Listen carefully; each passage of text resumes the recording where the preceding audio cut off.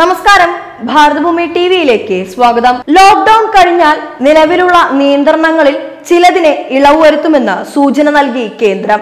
ഇളവുകൾ അനുവദിക്കുന്നത് ഈ മേഖലകളിൽ.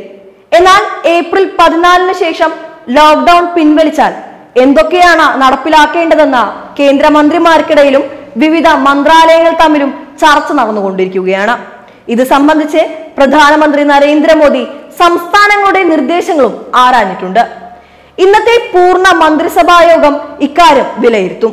ബുധനാഴ്ച പാർലമെന്റിലെ പ്രധാന കക്ഷി നേതാക്കളുമായി പ്രധാനമന്ത്രി നടത്തുന്ന ചർച്ചയിലെ നിർദ്ദേശങ്ങളും വിലയിരുത്തിയായിരിക്കും അന്തിമ തീരുമാനം.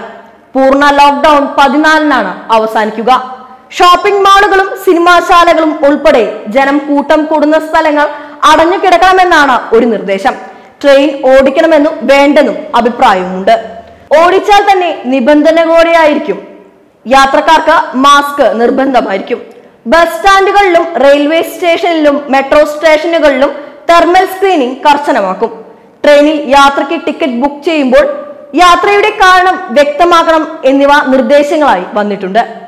രാജ്യാന്തര ആഭ്യന്തര വിമാന സർവീസുകൾ ഉടൻ പൂർണ തോതിലാകില്ലെന്നാണ് അറിയുന്നത്. കോഴ്സുകൾക്കുള്ള പ്രവേശന പരീക്ഷകളും പ്രവേശന നടപടികളും കഴിവതും ഓൺലൈൻ വഴിയാക്കും. സ്കൂളുകളും കോളേജുകളും തുറക്കുന്നതിനെ കുറിച്ച് പതിനാലിന് ശേഷം തീരുമാനിക്കും. ക്ഷേത്രങ്ങളിലും മസ്ജിദുകളിലും ദേവാലയങ്ങളിലും മറ്റും പതിവ് പ്രാർത്ഥനകൾക്ക് ജനം എത്തുന്നതിന് നിയന്ത്രണമുണ്ടാകും.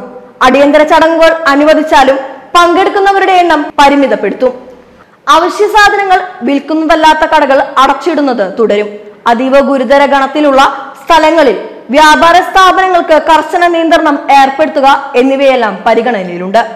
നിയന്ത്രിത തോതിൽ ലോക്ഡൌൺ പിൻവലിക്കുന്നതിനെ കുറിച്ച് പ്രധാനമന്ത്രി നരേന്ദ്രമോദിയുടെ ആവശ്യപ്രകാരം സംസ്ഥാനങ്ങൾ അഭിപ്രായം നൽകി തുടങ്ങിയതായി സർക്കാർ വൃത്തങ്ങൾ പറഞ്ഞു. News desk Bharathabhoomi T